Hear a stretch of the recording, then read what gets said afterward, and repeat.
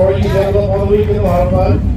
And you want to track championships. Can't beat that for a weekend, huh? That was a good weekend, that's for sure. Uh, I mean, other the motor going down in the stock car, I, yeah, it's definitely couldn't have almost been better.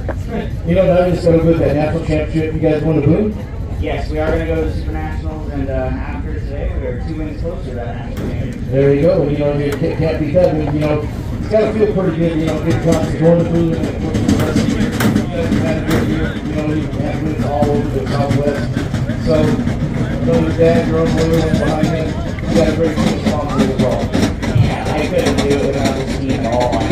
They all work their butts off, and yeah, we, we this national championship, it's going to be big, you know, and, and we're a small team, you know, I mean, And uh, compared to the guys that we compete against in the Midwest, we're definitely, uh, I would say we're considered a smaller team and one of the underdogs. So to be able to, to put a year together like this is definitely a, a big deal. Well, you know, you gotta do a lot of traveling again. Without these sponsors, you can't do that. You know, those guys do the race four or five times a week.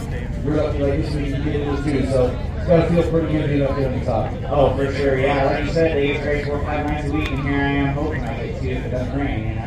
And uh, most most weekends it's done, and I'm waiting all week watching them rack up wins while I'm just waiting for my Saturday. So, yeah, it's definitely uh, definitely gonna be big. Like I said, can't thank my dad, my mom, all my friends and family that are up there that came out. My uncle Dennis, Robert again. Uh, Toyota, Toyota Speedway, Harris Auto Racing, Kyle Brown, Harris Auto Racing, is really great car, uh, EMD Wraps, Superior Fuel Cells, Torco Race CMW Real Estate, Coach Springs, Moss Modern Rods, Tyler Pro Motorsports, Mike Creative Motorsports, uh, Transmission, Drop Tabs, the Party Built, Shaper Lubricants, Bacchus Customs. I got everybody because, like I said, I can't do that each and every one. Thank you all your fans for coming out here and spending the day with us. All right, one more time. Give it up all the It's Chaz Baca Jr.